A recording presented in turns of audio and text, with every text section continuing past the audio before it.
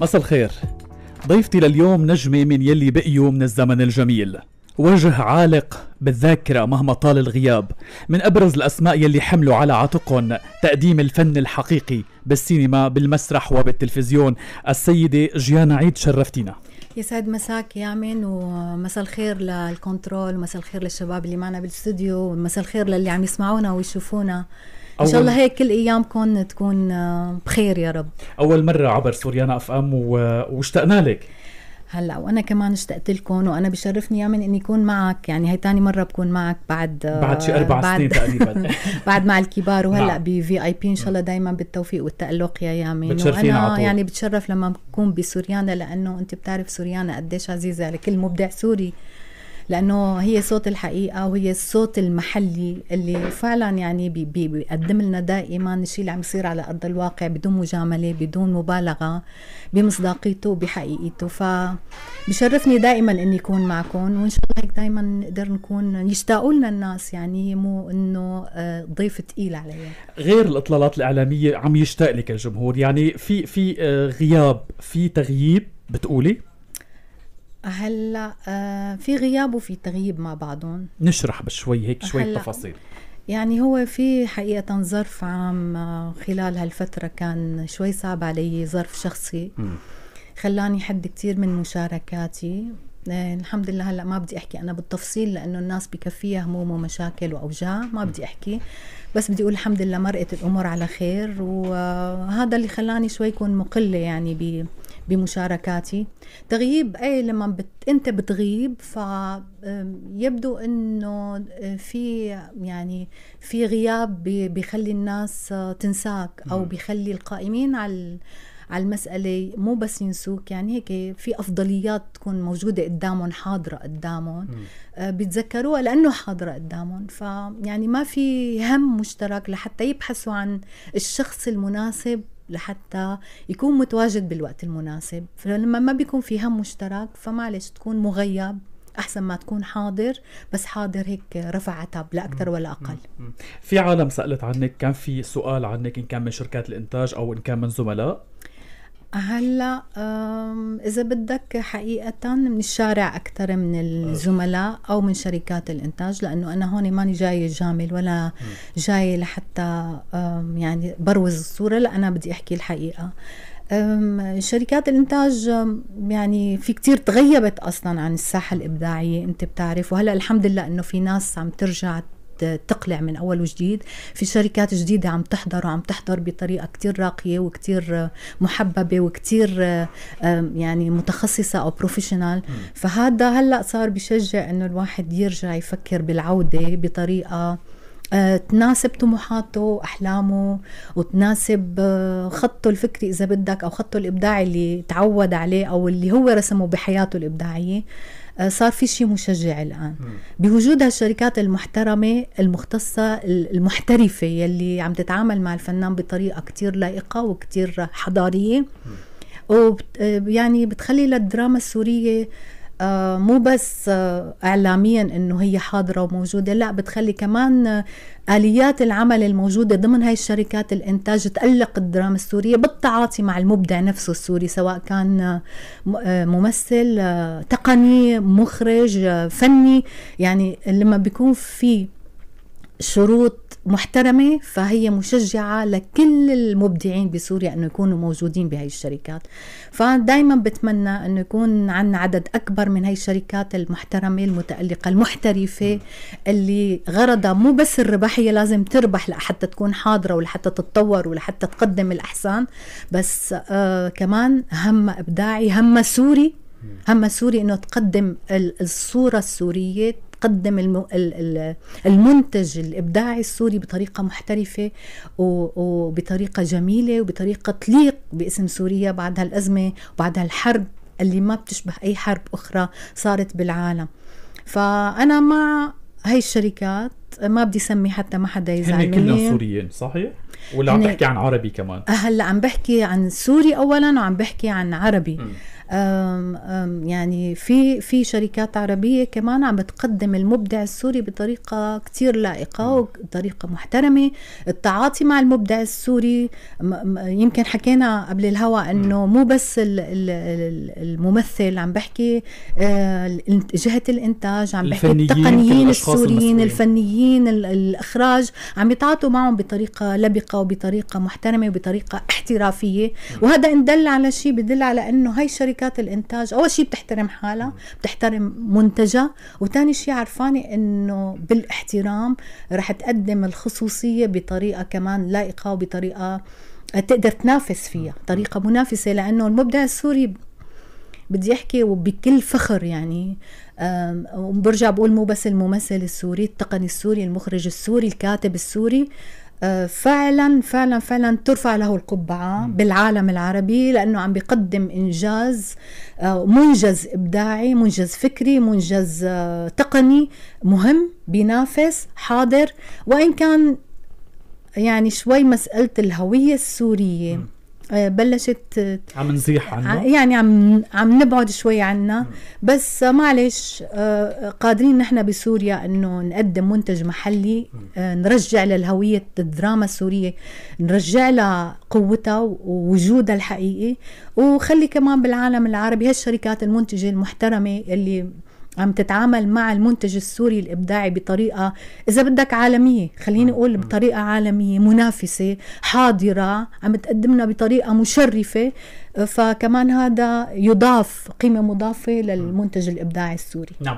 أه، التغييب اللي حكينا عنه أو الغياب القسري اللي هو كان بسبب ظرف هلأ ممكن نتطرق له أه، خلال الحلقة فتح المجال لوجوه جديدة؟ يعني اليوم غيابه أو تغييب قامات وأسماء إلى مسيرتها وتاريخها الفني الطويل ممكن يفتح المجال لوجوه تانيين لنجوم يتربعوا أو ممكن ما يأثروا أو ما يتركوا هذاك الأثر يلي تركتوه هلأ ما بعرف يعني أنا بتمنى يكون هذا الشيء مقصود ومو جاي بالصدفة بتمنى يكون في خطة يكون في يعني آه، مشروع إنه نقدم نحن وجوه جديدة آه، تحل محل وجوه كانت سابقا إلى حضورها وإلى فاعليتها وإلى خصوصيتها الإبداعية. بس للأسف اللي عم بصير إنه عم بتصير يعني الصدفة هي اللي عم تلعب الدور. م. وإذا بدك خليني أحكي عن شغلة كتير كتير كتير أنا فرحانة فيها م. الآن. بكل المنتجات اللي شفناها بكل الأعمال اللي عرضت في رمضان أنا كنت سعيدة كتير بشغلتين أساسيتين. الشغلة الأولى أنه المبدع السوري مثل ما قلنا مخرج كاتب ممثل حاضر بطريقة منافسة وبطريقة آه، مشرفة, مشرفة. صحيح. مشرفة. والشغلة الثانية الوجوه الجديدة السورية من ممثلين عم بحكي أنا تحديدا. حتى إذا بدك الجيل الشاب من التقنيين من ال... من الناس الموجودين كمان عم ياخذوا آه، أدوار عم بيقدروا يثبتوا فيها حضورهم وعم بيكونوا مبدعين. وبدي خص هون شباب الخريجين من المعهد العالي للفنون المسرحية شباب وصبايا طبعا اللي أنا كتير فخورة فيهم. واللي ما بتصدق الغبطة اللي صابتني وأنا عم بحضر بعد اعمال رمضان اللي كانوا متواجدين فيها والأدوار المهمة اللي لعبوها والخصوصية اللي أضافوها للدور والقلق اللي كانوا عم بي يعني عم بيمارسوه عبر الشاشة عبر الكاميرا. في منهم كانوا طلابك؟ إيه أو بالفترة اللي كنت موجودة فيها عميدة المعهد إيه العالي للفنون المسرحية؟ إيه يعني هدول الدفعات الثلاثة الأخيرات هدول كلهم يعني بعتبرهم أنا واولادي بعتبرهم دفعاتي يعني. مم. فلما بتشوفهم انت عم بتألقوا على الشاشة سواء العربية أو السورية فهذا كتير فخر كتير فخر وكتير مصدر لل... للمتعة. وأنا بدي هنيهم وبارك لهم وأقول لهم إن شاء الله دائما بتلاقوا الفرص اللي تقدروا تعبروا فيها عن طاقاتكم لأنه أنا هذا كان رهاني. مم. أنا كنت حس إنهم يعني هن موهوبين وبيستحقوا. بس يعطوا الفرصة والحمد لله يعني عم بينعطوا فرص وعم بيكونوا كفؤ لها وعم بيتألقوا وعم بيثبتوا حضور وعم بيثبتوا تميز. فيعني كتير فرحانة أنا اليوم مخاطرة لما نعطي اسم جديد ووجه جديد نعطيه دور بطولة عم نخاطر يمكن. البعض بيقول لك لا بجيب نجم جاهز وبضمن نجاح العمل. أنا مو مع هذا الشيء. العمل الإبداعي هو اللي بيعتمد على أنك أنت تخلق من شيء ما بتعرفه شيء مختلف شيء جديد ويكون حاضر ويكون متألق. يعني لما انت بتجيب ممثل هاي هي ماهية فن التمثيل. انك انت تجيب شخصية ما سبق وتعرف عليها المتلقي أو المشاهد. تقدمها صح. تقدمها بطريقة آه، يعني تكون مقنعة وتكون حاضرة وتكون قوية وت يعني تمارس دورة بالمنافسة. م. تأكد حضورها الإبداعي. مو مع أنه تجيب كلاشيه يعني أو آه، شخصية سبق أنه قدمت وترجع تكرر هذا التكرار بالعكس أنا برأيي يمكن في بعض الأحيان أساء م. يعني في بعض الأحيان أساء أنه أنت جايب وجبة جاهزة وعم بتقدمها طيب م. إيه يعني مرة وتنتين وثلاثة يعني بعدين بيمل بيمل المشاهد مو بس يعني وين المغامرة؟ وين حس الإبداع؟ وين التطور؟ وين إنك أنت كمخرج وكممثل عم تشتغلوا مع بعض لحتى تقدموا منتج إبداعي لحتى تعملوا شخصية لحتى تحولوا شيء مكتوب على ورق إلى لحم ودم ويكون مقنع ويلامس مشاكل الناس اللي عم تتلقى ويكون حقيقي ويكون يعني في صدق بالمسألة. حضرتك ضد اللي بينكتب لفنان مثلا لما نذكر اسم اسم أو نجم نكتب له. يعني ينكتب العمل مفصل لهذا الشخص لأنه أصلا اوريدي مكتوب له أه، معناته ضد. يعني لازم نحن ينكتب النص بعدين نقي ونعمل كاستنج ونختار. آه، هلأ هلأ ممكن الوجهتين النظر. م. يعني آه، في أحيانا يكتب لفنان معين لأنه له تاريخه وقامته. م. وحضوره الإبداعي ممكن ينكتب له شيء يساعد ب يعني حمل العمل نفسه. تكون شخصية موظفة لمصلحة آه، العمل نفسه. نعم. ابداعيا واحيانا كمان كثير مهم وهذا الشيء يمكن أسلوب سينمائي أكثر منه. أسلوب بالتلفزيون يعني بال بالسينما عادة إذا بنعرف نحن بكلاسيكيات السينما. العالمية م. يعني السينما الإيطالية أو الأمريكية كانوا يجيبوا ناس من من الشارع يختاروا ما يكونوا بروفيشنال ما يكونوا دارسين ويصنعوا منهم آه، ممثلين يحملوا له أدوار مهمة وبالتالي يصير نجم بعدين. انكتب لك؟ لا ما انكتب لي لا ما انكتب لي. أو يعني يمكن أنا واحدة من الشيء المعاناة اللي عانيت فيها طول عمري من وقت ما كنت صغيرة يعني لهذا الوقت إني دائما أنا اللي بحمل الدور. م. يعني بحب إنه يجيني دوري شي مرة يحملني هو يحملني. وما صارت معي ما صارت لا بالعكس وأنا بشارك حتى بكتابة الدور بصناعة الدور. إيه، لا يعني هذا الشيء طبيعي. إذا بدك هذا الشيء الصح إنك أنت لما تقرأ العمل وبعدين تقرأ الدور إذا في عندك ملاحظات تقدر تغني فيها الدور لحتى يكون حاضر وفاعل ومشارك بالحبكة الأساسية أو بالصراع الأساسي بالعمل طبعا بشكل مصداقي وبشكل منطقي م. ومقبول يعني مو إنه يطلع أوفر عن نعم. المقولة الأساسية فأنا بعتقد إنه هذا الشيء مجدي أكثر هذه الصناعة يعني صناعة الدور هي صناعة إبداعية تعتبر. أكثر من إنه يجيك شيء جاهز وأنت بس تقول الشيء المكتوب على ورق بالضرورة بالضرورة الممثل الحقيقي بيغني الدور بالتفاصيل اللي هو بيبحث عنها عبر تاريخ الشخصية وبالتفاصيل اللي ممكن يضيفها من خلال مشاهداته بالشارع اللي بجمعها ممكن يضيفها لهي الشخصية. ف طالما أنت في عندك لحم يعني في عندك ورق وأنت كممثل أدواتك هي ذاتك روحك ودمك وإحساسك وعقلك وقلبك وعاطفتك فأنت قادر إنك تصنع شيء. ف... اليوم حضرتك ضيفتنا وأكاديمية وخريجة المعهد العالي للفنون المسرحية. لنرجعك ونرجعك شوي هيك لورا لنكون وصلنا لآخر ما آه، اصدرت أو آخر شيء عملتيه بالفن. آه، كنت من الدفعة الثانية بتخيل مم. بالعام 1983 82 يعني 82 83 مين كان غير زوجك زياد سعد؟ تحياتنا له تسلم شكرا. مين كان في آه، من دفعتك تتذكريهم؟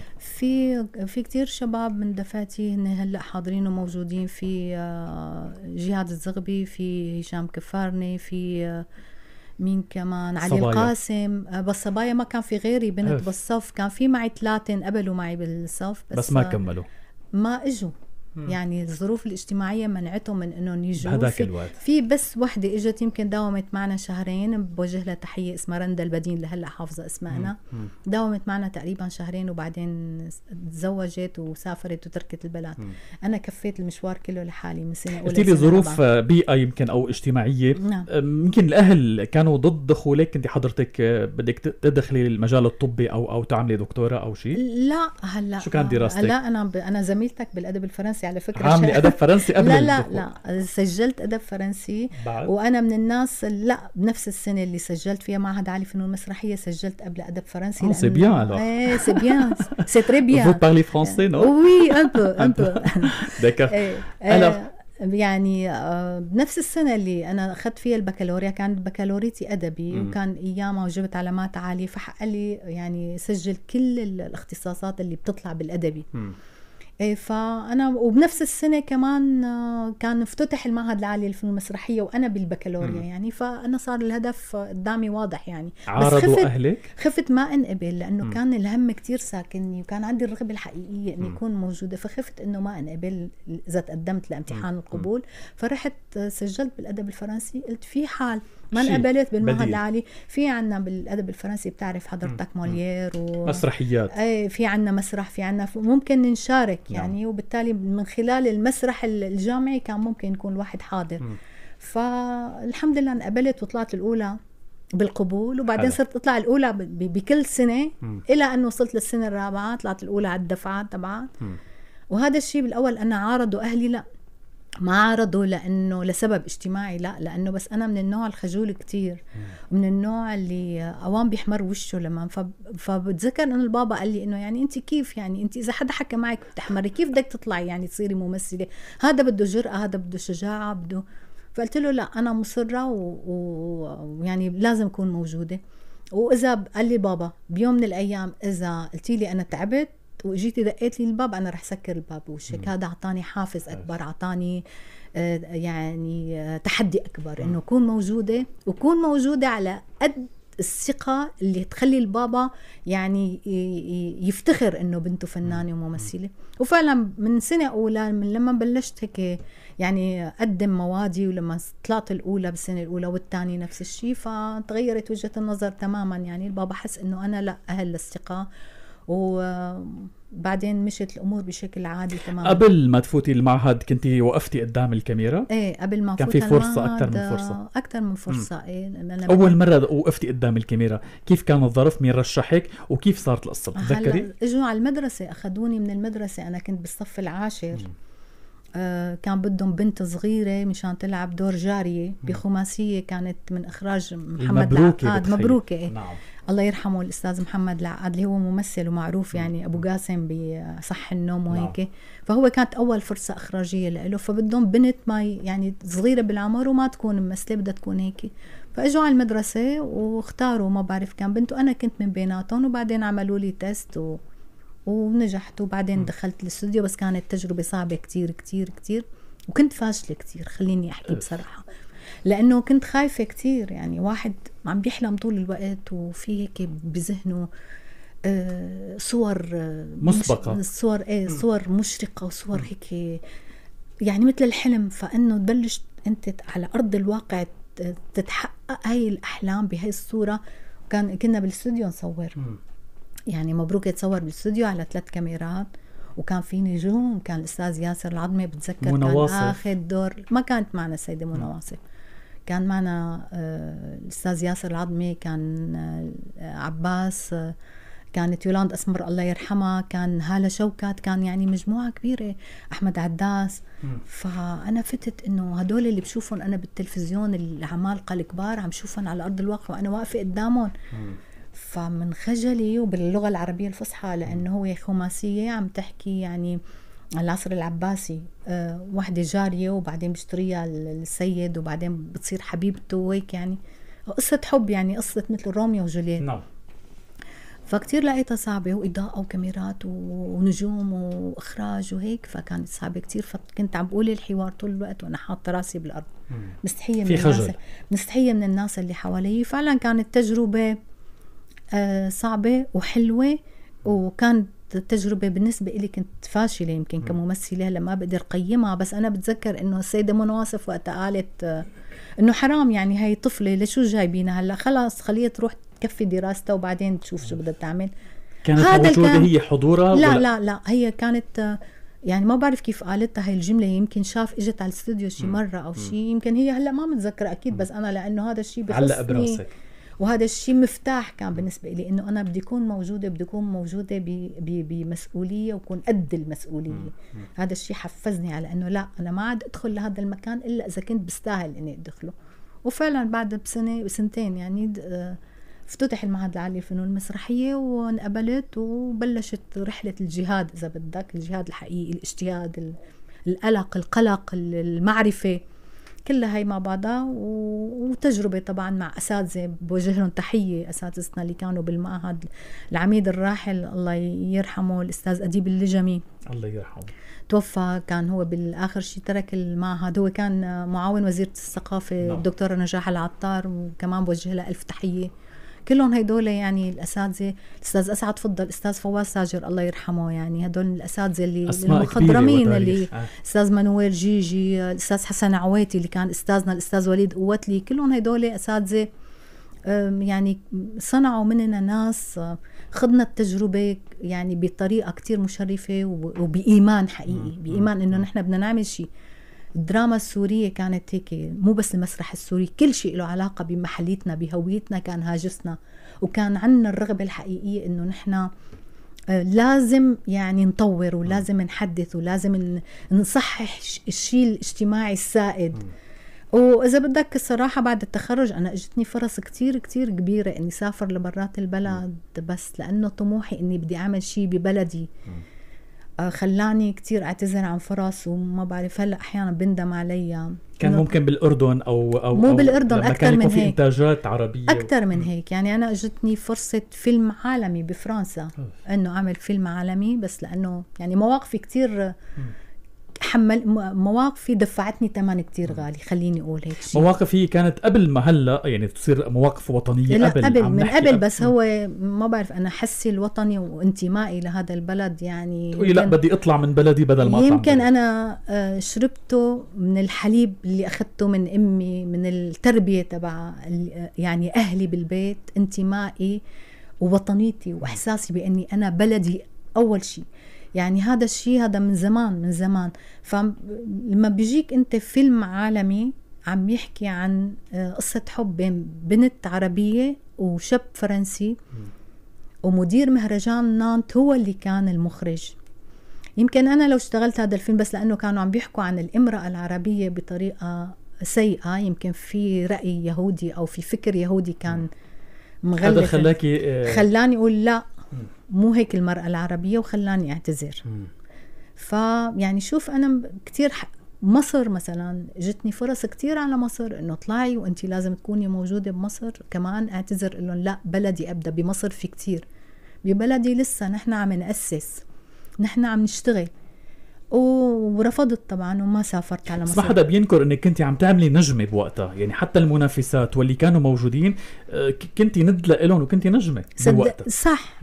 بس أنا بقول لك بصراحة ما كان هذا همي الأساسي. كان همي إني أشتغل شيء لبلدي نعمل شيء لصناعة بلدنا للدراما ببلدنا للفن ببلدنا للثقافه للابداع ببلدنا نطور نحدث. يعني كله هذا كان كان بخلفيتي. خلفيتي اللي مثل ما قلت لك مواقفي المتشددة تجاه هذا الشيء اللي أنا مآمنة فيه. خلاني يعني أتغاضى عن الشخصي. يعني ما فكر بحالي كشخ... ك... كخاص كطموح شخصي. فكر بالعام ببلدي بهويتي هويتي السورية بانتمائي. كيف أنا ممكن أخدم هذا الشيء وضل هذا التاج على راسي على فكرة. ضل مانشيت عريض على جبيني. حتى كل الأعمال العربية اللي شاركت فيها يمكن أنا الوحيدة كنت تكون من سوريا بعدين. المسلسلات السورية مثلا العربية.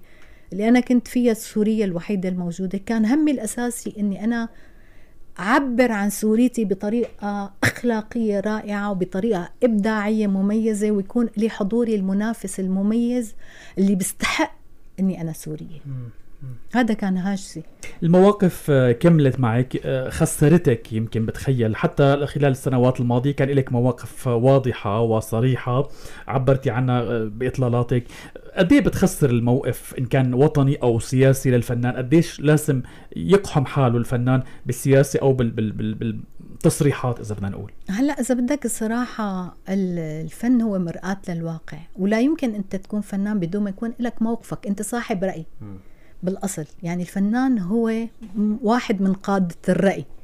اللي بينسمع رأيه لأنه هو ما مو مثل السياسي. أنا برأيي الفنان أهم من السياسي. السياسي ممكن بخطاب ينفرد عن الناس يتلقوا هذا الشيء يسمعوا في منهم بيرفضوا في منهم بيقبلوا بس أنت كفنان أنت عم بتقول موقفك من خلال الشيء اللي عم تأديه من خلال منتجك الإبداعي بشكل غير مباشر ومو مفروض. أنت يا بتقبله يا بترفضه يعني المتلقي يا بيقبله يا بيرفضه فهون قوته هون قوته. قديش ممكن يكون قدوة قديش يكون ممكن يكون مثل قديش ممكن يوصل الرسالة بطريقة مقنعة ويخلي الناس تتشبه فيه المتلقي يتشبه فيه الجيل يتشبه فيه. قد ممكن يكون مرآة لعصره قد ممكن يكون شاهد حقيقي لعصره. قديش ممكن يفيد أبناء جيله والناس اللي بيحيطوا فيه المجتمع كله قد ممكن برسالة إنه يوصل لهم إياها بطريقة غير مباشرة إنه يغير من من من طريقة تفكيرهم. فأنا برأيي إنه الموقف لازم يكون حاضر عند الفنان. وأنا برأيي الموقف الحقيقي اللي له علاقة بانتماء لبلد اللي له علاقة بصيانة دولة بتكريس لمفهوم المواطنة هذا ما بيخسر. هذا الخسارة ده مو شرط إنك أنت يعني الخسارة إنك تخسر حالك كمنتمي إلى هذا البلد بس أنت بتكون ربحت ربحت شيء كتير كبير ربحت البلد. وأنا بعتقد إنه يعني هذا لا فضل ولا من نية. أقل شيء أقل شيء الفنان ممكن يعمله إنه يكون منتمي بشكل حقيقي وواعي ومؤمن بإنه هو دوره كتير كبير بالارتقاء بمجتمعه بالارتقاء ببلده بتقديم صورة بلده بصورة مشرفة حضارية بتليق يكون منافس على على مساحة الجغرافيا إذا بدك. يشكل حضور مختلف حضور قوي يشكل هوية هوية حقيقية منافسة. وهذا بعتقد أنا هذا ربح كثير كبير. البعض اعتبر آه، عم نخسر جمهور عم تخسري قسم من الجمهور لما عم تكوني انت آه، طرف أو عم تكوني آه، بتعبري عن رأيك بشيء معين. فعم نخسر الجمهور عم ينقسم الجمهور إن كان مع أو ضد إن كان داخل البلد أو خارج البلد. في كانوا فنانين غادروا البلد راحوا لأسباب قد تكون في منهم اضطر في منهم كان أسباب مشروعة في منهم لا. شو كان شو كان انت لا أنا برأيي إنه يعني حتى الفنانين اللي غادروا برات البلد هن ما يعني بلحظة من اللحظات يمكن ما كانوا ضد البلد هن كان في فكرة براسهم يعني انفهمت بطريقة خاصة وقدروا يعبروا عنها هن هذا خيار لإلهم اختاروه عبروا عنهم بطريقتهم هن مثل ما أنا كان يعني دفاعي عن بلدي عن عن آه، دولتي عن إنساني آه، من جوات البلد كمان كان مسؤوليتي وأنا هذا كان خياري وأنا مسؤولة عن هذا الخيار. فأنا ما بعتقد إنه في حدا بيحب بلده وبيشتغل لبلده لمصلحة بلده بيكون آه، خاسر أو بيكون في مين يعارضه. لا لا لا نحن كلياتنا حبينا البلد بس للأسف كل واحد حبها بطريقة مختلفة. بطريقة ربما فيها فهم مختلف ربما فيها رأي مختلف. بس بالنهاية يعني الصح لابد إنه يكون صح. والغلط لابد إنه يكون غلط. يعني اللي أنا اللي بيأسيني واللي بيضايقني إنه نحن دفعنا دم بهذا البلد. نحن وصلنا البلد يعني ل لدمار يعني إنه تكون بلد آه، هي سلة غذائية لكل العالم وما في عليها قرش واحد دين.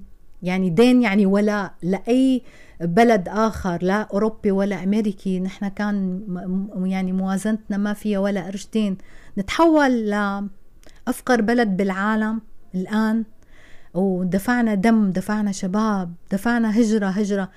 هذا كتير مؤلم هذا كتير كتير سيء هذا كتير يعني بيخليك تحسك إنه وين رحنا وكيف نحن فهمنا وكيف نحن أخطأنا. طيب معلش أوكي أخطأنا. بس تعالوا لن يعني لنرجع نصلح كل واحد من خلال موقعه من خلال هيك شو بيقدر يعمل ولو بشغلة صغيرة.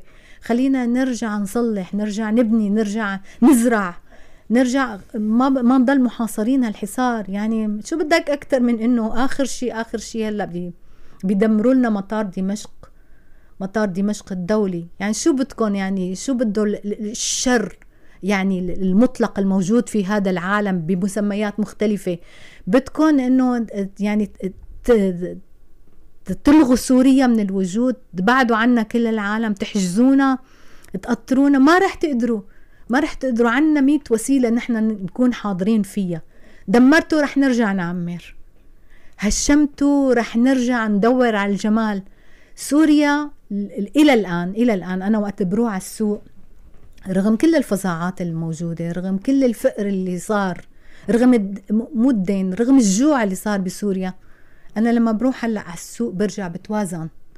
برجع بحس إنه لا سوريا خير سوريا عطاء سوريا تكامل سوريا موجود فيها كل شيء. بس بدها ناس جديين ومخلصين وشجعان وناس مآمنين بإنه هاي البلد بدها ترجع.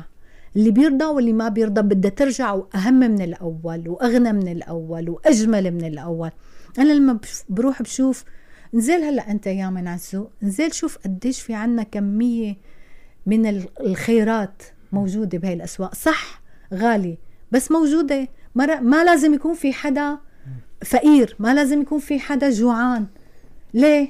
ليه لحتى يكون في عنا كل هالخيرات؟ وين ما رحت؟ من شمال سوريا لجنوبها لشرقها لغربها عنا آه، خيرات خير الله. سوريا مملوءة بالمنتجات اللي ممكن تغني العالم وليس فقط سوريا والأهم من هذا الشيء مو بس عنا خيرات وعنا خيرات باطنية وخيرات خارجية وعنا زراعة وعنا كل شيء. عنا أدوية مهمة عنا صناعات مهمة إذا انشغلت بشكل حقيقي. عنا ناس بتفكر بطريقة مهمة عنا دواء مهم عنا زراعة مهمة. الأهم من كل شيء إنه عنا كوادر كوادر مهمة. كوادر بشرية طاقات بشرية مهمة. والآن هي موجودة بكل أنحاء العالم. والآن هي عم بتحرك العالم عم بتحرك العالم صناعيا واقتصاديا وعلميا وطبيا إذا بدك عم تحرك العالم. ما يؤلم إنه هدول كلهم خرجوا من سوريا. لأنه كان في ظروف ضاغطة لأنه في يمكن ما عندهم القدرة على التحمل على التحمل فهربوا. في شباب راحت تبحث عن هلا مصادر لرزقها لحضورها لوجودها. هدول الشباب أنا بي بي بيقهروني إنه موجودين بكل العالم. بس معلش خليهم يروحوا خليهم يكسبوا تجربه خليهم يشوفوا وخليهم يرجعوا بشوق أكبر وبرغبة أكبر بالتطوير بهذا البلد. خليهم يرجعوا ورح يرجعوا. متفائلة؟ متف... أنا حزينة بس متفائلة. حزينة للشيء اللي وصلنا له حزينة على شبابنا اللي طلعت برا. بنفس الوقت أنا متفائلة متفائلة لأنهم رح يرجعوا ورح يشتغلوا ورح يعمروا ورح يبنوا. أه ورح يكسبوا أه من خلال هالخبرة الألم اللي عاشوه برا لأنه ما في حدا سوري طلع برات البلد. مهما أتيحت له الظروف كل الظروف هو سعيد لأنه السوري وين ما كان هو منتمي سواء كان فهمان الانتماء بطريقة خاطئة أو بطريقة صحيحة أو مارس ممارسات خاطئة أو مارس ممارسات صحيحة. أنا ما بقدر أحكم أنا مواطنة مثلي مثل كل الناس الموجودين بسوريا ومثل أغلب الناس اللي كانوا برا. أنا بحب بلدي وهن بيحبوا بلدهم ورح يرجعوا أه اللي عم تحكيه ست جيانا يعني يمكن يتعارض مع تصريحات وبعض تذمر الفنانين يلي بيكتبوا على صفحاتهم. ممكن يشتكوا غلاء الأسعار ممكن يشتكوا انقطاع الكهرباء. مثل مثل أي مواطن أو حال أي مواطن تعليقك على الفنان هل لازم يتبنى هذا هذا التصريح عن ما يخص الوضع الاقتصادي أو أو أو العام؟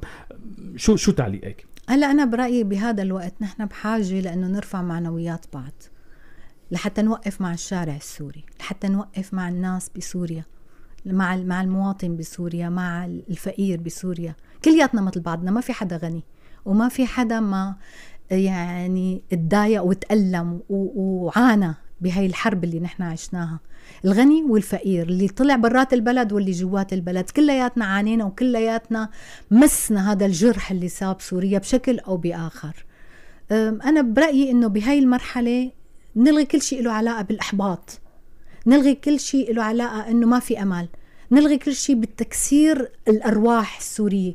خلينا نشتغل على بناء الروح السورية. إعادة الأمل للروح السورية للإنسان السوري للمواطن السوري للإمرأة السورية لل... لكل لأي حدا. وما بعتقد في واحد فينا معانا. من أم الشهيد بسوريا؟ لا بدي أقول لك آذن المدرسة لا. لأنا الفنانة للفنان الآخر للي طلع برات البلد للشاب اللي راح يبحث عن فرصة عمل برا كل المهن تأدت كلها لأنه أنت لما بتنأذى البلد أنت بتنأذى بشكل أو بآخر لأنك أنت مواطن من هذا البلد. فرحة بفرحك وحزنة بحزنك سواء أردت أو لم ترد سواء كنت قاصد وحاسس أو مانك قاصد ومانك حاسس. نحن معنيين بالهم السوري نحن سوريين. هويتنا هي مسؤولة عننا بفرحنا وبحزننا بمعاناتنا وببنائنا. لبلدنا بالمستقبل ولل... ل... لأي شيء بيصير بالبلد نحن مسؤولين نعم. مثل ما بيقول الأستاذ دريد لحام اللي بوجه له كل تحية انه إنه بلدي حفيان أنا أنا سرمايته هيك بقول بلدي عريان أنا ما هيك بتغطى فيها نعم. يعني يعني إنه أي شيء بيصير لهذا البلد هو بمسنا أول شيء نحن لأنه نحن سوريين وهي بلدنا سوريا. ما عم بحكي هلا عم نظر ولا عم بحكي لحتى أقول إنه يعني إنه أنا أنا مثلي مثل أي حدا بهذا الشارع بس أنا بحاجة لأني أسند اللي بالشارع واللي بالشارع يسندني لجارتي لصديقي لأخي لرفيقي لأي مواطن بسوريا للي عم ياكل واللي ما عم ياكل. نحن بحاجة لنسند بعضنا لنرجع لروحنا. لنرجع ل... ل... لأساسنا الطيب الكويس المعطاء. سوريا بلد المحبة وسوريا أول يعني أول صاحبة الكلمة الأولى بالعالم. سوريا يعني ما بدي أحكي كثير عن سوريا. سوريا قد ما نحكي عنها بنضل صغار بنضل نحس إنه هي أكبر مننا كلياتنا. بس بدي أقول خلينا نرجع كلياتنا نتكاتف إيد وحده ونرجع نحب نحب البلد ونحب بعضنا. نحب أنفسنا. أول شيء نحب أنفسنا لحتى نحب بلدنا ونحب بعضنا. يا أختم هذا المحور إذا بدي أقول. أنت مع تسوية الفنانين أو تسوية وضع الفنانين اللي هن خارج البلد آه، تحت مسمى أو عودة الفنانين لنقابة الفنانين ورجعتهم ليشتغلوا بالدراما السورية؟ يعني هذا السؤال مو لإلي أنا بيتوجه. في ناس كرأي قائمين. كرأي ما عم أقول لك أنا كلياتنا حبينا البلد بس كل واحد حبها بطريقة مختلفة. تعالوا نرجع نحبها نتجمع مع بعضنا ونرجع نحبها من هون من جوا. ما عندك مشكلة مع حدا من الفنانين؟ لا لا ما عندي مشكلة. كل واحد مثل ما قلت لك أخذ قرار أو أخذ تبنى رأي. هو مسؤول عن الشيء اللي اللي تبناه أو القرار اللي أخده أو ال... هو بيتحمل مسؤوليته. وأنا هون شو بنقدر نتساعد مع بعضنا؟ لنرجع نبني نرجع نعمر نرجع نرجع سوريا الحلوة الجميلة الحضارية الأهل متعاضدين ومتعاضدين ومتكاتفين وبيحبوا بعض وعندهم النية بأنه ترجع تكون بلد مهمة في العالم. خلينا نعمله نحن مع بعضنا. إن شاء الله. مكملين كمان عن حضرتك وكنا عم نحكي من البدايات بعد انتسابك للمعهد والتقيتي بالفنان زياد سعد. يعني قصة حب جمعتكم وتكللت بالزواج. لا يزال اليوم صار لكم أكثر من 30 سنة تقريبا مع بعض وحب لا يزال الحمد اليوم. لله. شو الرابط اللي بيجمعكم بشو بتتفقوا على شو بتختلفوا كشخصيتين؟ هلا يعني بنتفق على أشياء كثيره وبنختلف على أشياء كثيره مثلنا مثل أي كابل بالعالم أو مثل أي زوجين بالعالم. بس ما تنسي انه اثنين فنانين يعني. نحن اثنين فنانين. بدي أقول لك شيء لما بتلتقى بين اثنين الثقة ولما بيكون في رحمة ثقة ورحمة وتسامح وحب تمشي الأمور بشكل طبيعي. بيبقى الحب 30 سنة؟ بيبقى بجوز يختلف يعني شكله يختلف مضمونه بس هو حب. بالعكس ممكن يزيد ممكن يتحول لشيء تاني. بس طالما في رحمة وفي مشاركة وفي قداسة لهذا الشيء الرابط اللي بيجمع الاثنين مع بعضهم وفي ثقة. بعتقد أنا إنه كل الأمور بتمشي. ما في شيء بيتغير بالعكس. كسرتوا مقولة إنه الزواج الفني فاشل. يعني بقيتوا وأثبتوا للكل إنه كابل ناجح لا يزال لليوم. إن شاء الله بنضل لآخر لحظة بعمرنا. عمر كله إن شاء الله. ما بعرف يعني الفنان ما بيختلف عن أي إنسان آخر. بس مثل ما قلت لك لما بتبلش تظهر الأنا يعني لما بيكون في زواج معناتها في طرفين. معناتها في طرفين بده يكون في تعاون بيناتهم بده يكون في آه، آه، صلات مختلفة تواصل مختلف بده يكون في رحمة بده يكون في تسامح آه، وبغيريه كمان يعني شو بتحبي بزياد وشو ما بتحبي؟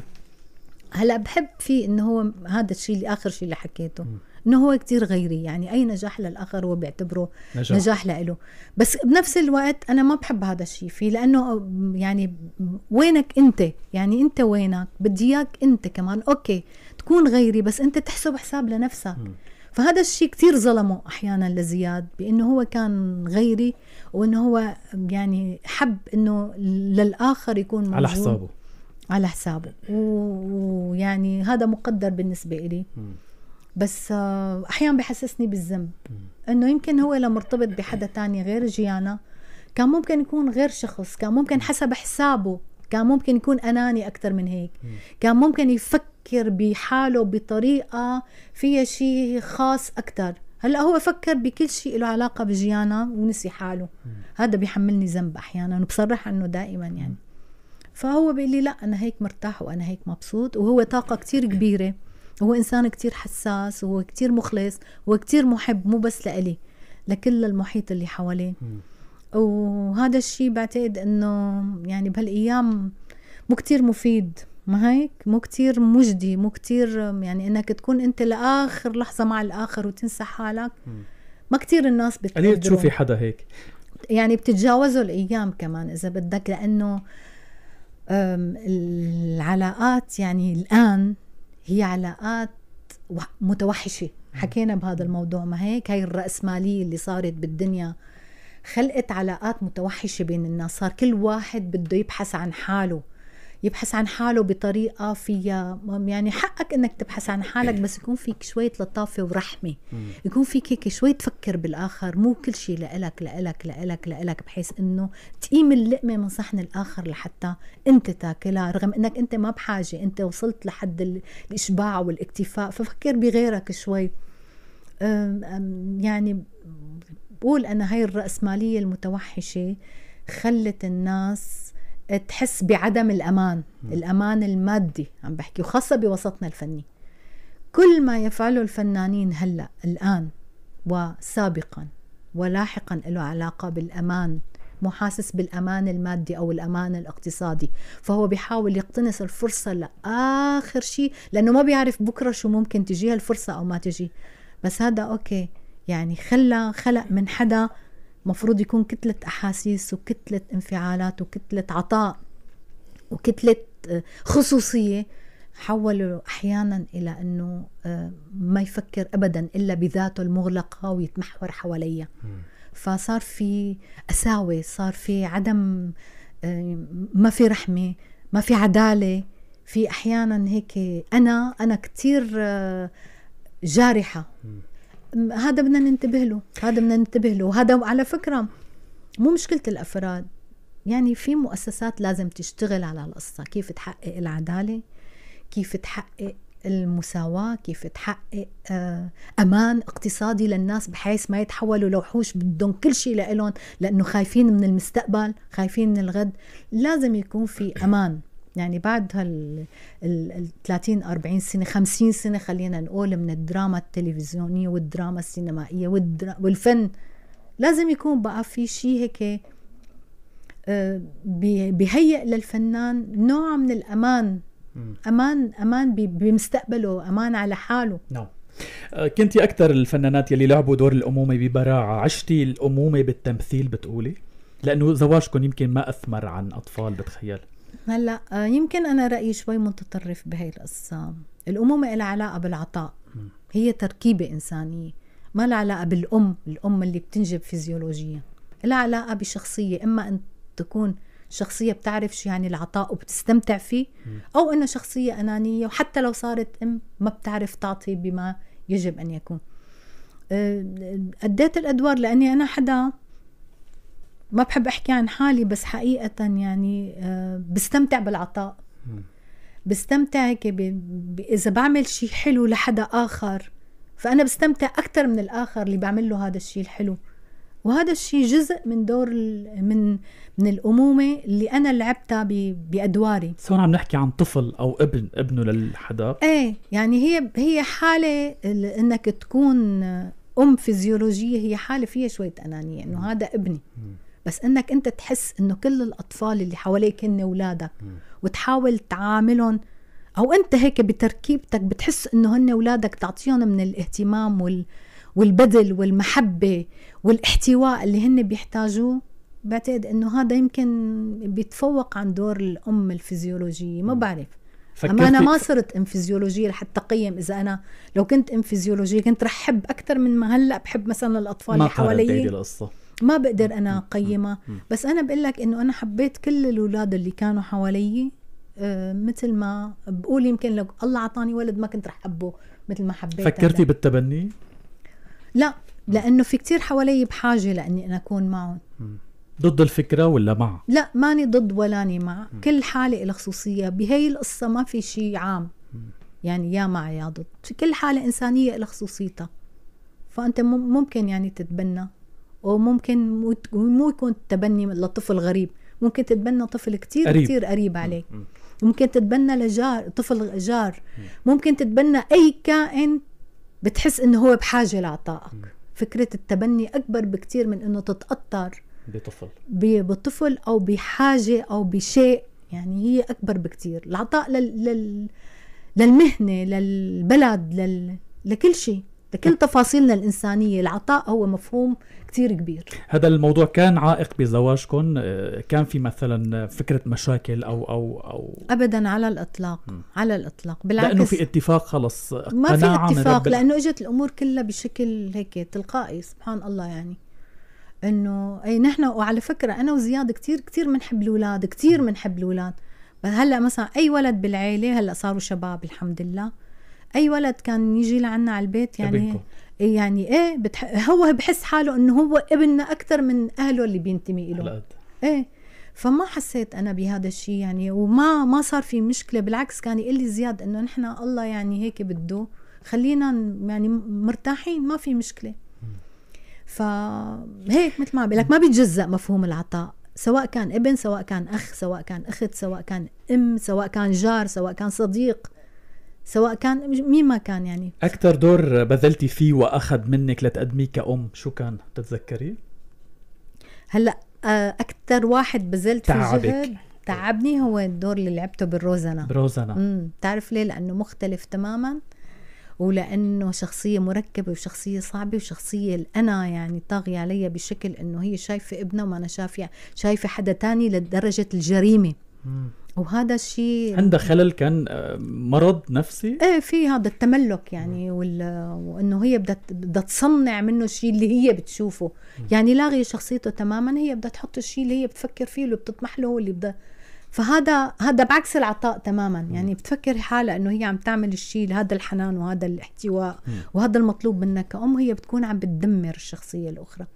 عذبني كتير هذا الدور لأنه ما بيشبهني شخصية مخالفة تماما لطبيعتي ولطبيعة الأدوار اللي لعبتها بحياتي كفنانة بس سبب لي متعة كتير كبيرة. انت لما بتعمل شيء أول مرة بتعمله وعم تعطيه حقه وعم تبدع فيه وعم تتألق وعم تقنع فيه وعم تكون صادق وسبب هذا يعني الجدل بالشارع كمان فبتحس إنه أنت إيه يعني عملت شيء مهم. في عالم حبتك في عالم ابدا ما تقبلت صح. انه هالقد أم متسلطة هالقد مريضة هالقد مستفزة. صحيح. مستفزة. صحيح بس هذا موجود بمجتمعنا. موجود بمجتمعاتنا يعني بالمجتمعات عموما موجود وهو له علاقة بالشر. يعني ما بس بمفهوم الأمومة المتسلطة والجبارة والأنانية والمغلقة لا هو له علاقة بمفهوم الشر بالعالم. يعني لو ما في هيك ناس أشرار ما بتحصل جرائم أصلا. هي الجريمة يعني لها علاقة بتشوه اجتماعي آه، ب خلل. خلل اجتماعي معين. ف إيه يعني في كتير ناس ما حبته وحق معها ما تحب بس أكيد آه، عطت دروس يعني للناس اللي بيفكروا بهالطريقة. فرجتهم قديش بشاعتهم وقديش ممكن يكونوا مدمرين. والناس اللي حبوا عرفوا إنه هذا دور أنا عم بأديه فأعطيته حقه كاملا. وهذا الشيء خلاهم هون يحبوا جيانا كممثلة وآمنوا بالشيء اللي عملته يعني. مين أكثر حدا آه، ممثلة سورية برعت بدور الأم؟ بتقولي بتقولي لها شابو بتقولي لها عن جد عملتي وبس تقولي أم تخطر لك. كتار والله يا يا من أنا ما بدي أظلم حدا. يعني من هلا ممثلاتنا الجدد. استحليتي دور لحدا وقلتي كنت قدمته بطريقة مختلفة؟ شوف أنا ما بغار من حدا ابدا ابدا. ما بغار من بنت بس بغار إذا وحده عملت دور حلو. بغار إنه إنه إنه إيه اللي عملته هذا كتير حلو. أنا لازم أعمل أحلى منه. آه، في كتير ممثلات يعني من الجيل القديم والجيل الوسط والجيل الجديد هلا مثلا عم يبرعوا بأدوار الأمهات. اي كتير مقنعات. كتير مقنعات يعني بدي اذكر لك مين؟ يعني كتار كتار كتار. يعني مثلا هلأ سلاف معمار عم تعمل أدوار أم مهمة كتير. عملت بحارة القبة عملت بيروت 303 حنحكي عنه هلأ بعد شوي. يعني في عندك سلاف فواخرجي كمان نفس الشيء آه، عندك من القديمات مثلا آه، أغلبهم بيتوحشوا لما لما يقرب الخطر لابنهم. إيه إيه هذا جزء من غريزة الأمومة. يعني آه، لأنه هو جزء طالع منها من روحها من جسدها من دمها من قلبها آه، فهذا شيء له علاقة بالغريزة الحفاظ على على هذا الشيء اللي طالع منا يعني وكأنه رح ينخطف منا جزء منا. فهو جزء من حياتها إيه بتوح... مو بتوحشوا إيه بيصيروا لبوات بتحولوا لشراسة يعني. شراسة في الدفاع عن هذا المنتج الإنساني إذا بدنا نحن نسميه. حكينا عن الغيرة وسبق واستضفت الفنانة صباح السالم. مم. كنا عم نحكي عن وجه تحية كمان صار زمان ما شفناها كانت ضيفتنا بحلقة سابقة. بتذكر بتذكر إيه؟ كنا عم نحكي عن مسلسل الطبيبه يلي انشهرتي فيه وعملتي دور بياخذ العقل. آه قالت لي كنت غار من آه جيان عيد. قالت خلتني إني غار لحتى أشتغل على أدواتي أكثر وما بدي إياها تطلع أحسن مني بالمسلسل. كان في لها دور بس كانت البطولة صباح السالم ولا صباح بركات؟ أنت مخربط بين صباح السالم وصباح. صباح السالم قالت بالحرف الواحد غرت من جيانا صح صباح لأنه كانت معنا بال... إيه. بالطبيبة بس صباح بركات صباح بركات. إيه. آه عفوا صباح إيه السالم. معلش. كمان صباح السالم بوجه لك اثنيناتهم كانوا ضيوفنا إيه. بالفعل. بوجه لك كبير التحية لصباح السالم. بتمنى إنه تكون عم تشتغل هلأ صباح. وأنا بدي أوجه لك تحية لك يا من لأنك جبتها وعملت معها لقاء لأنه ما بتتخيل قديش صباح السالم طاقة مبدعة وقديش انظلمت وقديش فعلا فعلا دمرت حياتها لهي المخلوقة.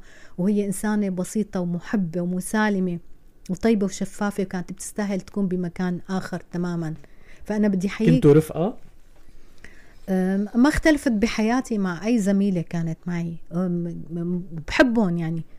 بحب بحبهم اللي بيشتغل معهم بحبهم حقيقة لأنه كنا نشوفهم أكثر ما نشوف قالت لي كنت غار منها وتحفزني عم تحكي تحكي الغيرة الفنية, الفنية هذا تماماً. هذا آه. وارد يعني صباح لأنه هي تلقائية وبسيطة وصادقة فهي ممكن تحكي تعبر م. في كتير ما بيقدروا يعبروا في كتير بيغاروا بس ما بيعبروا في كتير كانوا ما بعرف إذا بدي أحكي لك ما بدي هلأ اللي أحكي لن... لن... للنواحي السلبية. في كتير كانوا يغاروا من جيانا في كتير كتير كتير وأنا كنت متجاوزة كل هالقصص.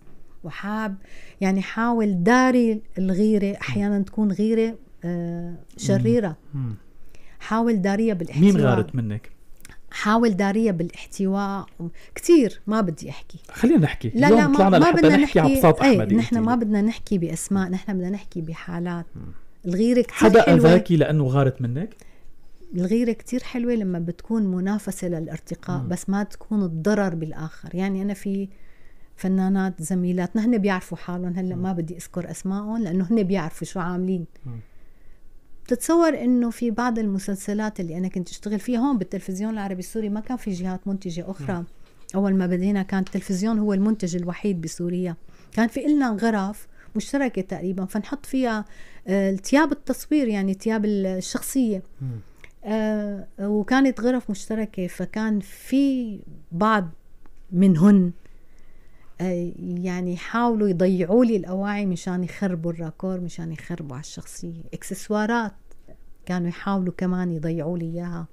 كيف كنت تتعاملي معهم؟ أه، تحسسيهم إنك عرفتي ولا تتجاوز لا لا لا تجاوز القصة ويمكن لهلأ ما بيعرفوا إني أنا بعرف إنه مين كان عم يساعد هلأ وين. صاروا؟ صاروا نجمات؟ إيه صاروا نجمات ويعني مهمات كمان بال بالعالم عندك الجرأة. تذكري اسم حدا؟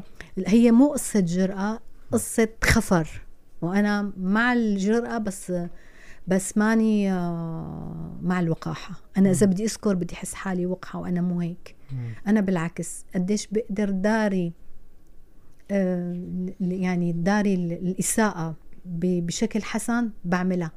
ما يعني- رجعتوا التقيتوا بعمل أو؟ رجعنا التقينا بأكثر بعمل وما انذكرت ما بتفكري. بالانتقام ولا أبدا. بتسامحي وما ابدا بتنسي؟ ابدا ابدا ابدا. في كتير جرحوني. جرحوني مو كم يعني بأثناء العمل. جرحوني بشكل شخصي آه، نساء ورجال. يعني في كتير ناس أساءوا في ناس ظلموني. بكل بكل مراحل حياتي من وقت ما كنت صغيرة إلى الآن بس أنا دائما بتجاوز ودائما ما بفكر بالإساءة. دائما بفكر بالحالة اللي لازم تكون مو بالحالة الكائنة. عم بتذكر واحد من زملائنا الفنانين كان يقول لي يعني إنه انت شو مفكرة حالك؟ يعني المسيح ما بدي أذكر اسمه كمان يعني لا الدرجة. إنه انت مانك ملائكة. انت بني آدم قل له أنا ماني ملائكة وما بحب كون ملائكة بس أنا بآمن بإنه لازم ما يعني إذا كان الظرف سيء ما لازم نكون سيئين. لازم نتجاوز الظرف السيء لظرف أحسن. أنا بحب يتعاملوا مع الناس مثل ما أنا بتعامل معهم. بحب يحترموني مثل ما أنا بحترمهم. بحب يحبوني مثل ما أنا بحبهم. بس مو كل العالم منيحة وكويسة وب... لا لا لا مو كل الناس. لا وهذا و- الشيء هذا الشيء يعني آه، وعيت عليه متأخرا كتير. وصابني بالخذلان وصابني بالإحباط وصابني بال آه، بس بس ما بقدر أكون غير أنا غير مثل ما أنا. ما بتنسي بقدر. آه، ما, ما بتنسي بس بتسامحي. ما بتجاوز إيه بتجاوز. التجاوز يمكن كلمة أكبر إيه أو هي اللي بت- بتدل أكتر. ما بنسى وبكون حذرة بس بتجاوز. يعني هلأ صرت بكون حذرة. إنه أوكي طب في شر تالي بالعالم. وفي ناس بتتقصد تكون شريرة وتألمك بس أنا ما بقدر أكون مثلهم بفهم غيرة آه، ممثلة من ممثلة بس آه، ممثل من ممثلة بتصير بتصدق يا يامن إذا بقول لك ال- الرجال بيغاروا أكتر من النسوان والله اكتشفتها أنا هاي القصة إنه ما كنت فكر إنه والله رجال بيغار من من ست أي شو بيغاروا حتاخذ منه؟ شو حتاخذ منه دور أو أو, أو لا لا ما ما ما, بعرف. ممكن يعمل شي شغلة آه، تسألك بشكل غير مباشر. بس هيك لأنه هو غار أو لأنه هو متضايق أو إيه بغاروا مم. بغاروا إيه. نحن كنا مفكرين إنه هاي الغيرة بس صفة متعلقة بالمرأة تاري لا في رجال بتغار أكثر من النسوان. الوجه الخفي للوسط الفني اليوم أغلب أو 90% اللي بيحكوا حقيقة أو بيحكوا حقائق قد تكون بالوسط الفني بيحكوا لنا الجانب ال- المظلم يلي هو عن جد آه، 90% بيحكوا قلت لك آه، قد يكون آه، وسط عليه إشارات استفهام كتير. اليوم شو اللي بيخلينا نتحمل هيك هيك أوضاع؟ ممكن نحاول نصلحها ممكن نلاقي حلول ممكن آه، نتجنب أشخاص أو نهمشهم. نحن بجوز عم عم نسكت لهم أو عم عم عم نوقف بطريقة نفتح لهم المجال لحتى يصيدوا ويلمدوا أكثر هلا هاي الشغلة المشكلة إنه ما أنا متعلقة فينا شخصيا نحن ما بنمتلك كل الأدوات اللي بتخلينا إنه نحمي حالنا بطريقة أو بأخرى يعني. في كتير ناس سيئين آه، موجودين بالوسط آه، في ناس بيكونوا أعز أصدقائك فجأة بيتحولوا لألد أعدائك. ليش ما بتعرف؟ فجأة بتلاقيه مثلا عم بيصرح إنه مثلا جيانا فنانة محترمة ومصداقيتها عالية ومدري شو. فجأة بتقول بتلاقيه عم بيصرح إنه والله آه، هي يعني ما أنا متوازنة ومختلة ما يعني. فانت شو صار يعني. وما بيحاول يسأل حاله إنه يعني هو بشو أخطأ مثلا لحتى آه تغيرتي معه. تغيرت معه. أو أنا ما تغيرت بس أنا مثلا في لي مبرراتي فهو ما بيهمه يعني أو هي ما بيهمها بيهمها إنه كيف تقيم بشكل سيء بتطلق آه، يعني أحكام بدون ما تفكر فيها بدون منطق. بلحظة ممكن يلغوا لك تاريخك الفني كله وتاريخك الإنساني. بيلغوه ببساطة وبيطلقوا هيك حكم وبيضلوا ماشيين. يعني ما بعرف شو بدي أقول لك. موجودين هدول الأشخاص وللأسف ما بنقدر نحن نردعهم أو نغيرهم أو وما بنمتلك الأدوات أو الآلية اللي بت- بتخلينا يعني كل ما هنالك إنه بنبتعد بنحاول ما نواجههم بنحاول نتجاوزهم بنحاول نعاملهم بالحسنى علهم إنه يفكروا هيك بلحظة صفاء بإنه هن أخطأوا بحاله وحتى أنا حتى أنا يعني أنا ماني عم بحكي أنا كمان لي أخطائي اللي كتير كبيرة وأنا بعترف بهذا الشيء وأخطائي اللي أحيانا أساءت لناس بدون ما أفكر فيه وأنا بعتذر من كل أي حدا أخطأت تجاهه وصدقني بس كان الهدف الأعلى كنت مفكرة إني أنا عم حاول أصلح عم حاول أعمل الشيء اللي لازم ينعمل. ما كنت بقصد بيوم من الأيام إني سيء لشخص لا كانت الفكرة العامة هي اللي تقودني إنه أنا لازم أعمل الشيء الصح حتى لو كان على حساب رفقاتي أو أصدقائي. بس أنا أخطأت أخطأت بحق ناس فعلا وأنا بعتذر منهم. بدي بدي هلأ بدي أحكي على الهوا عن تفضل. عن شغله أنا لما آه، يعني في في مرحلة من المراحل لما كنت فيها بالنقابة من نقابة الفنانين.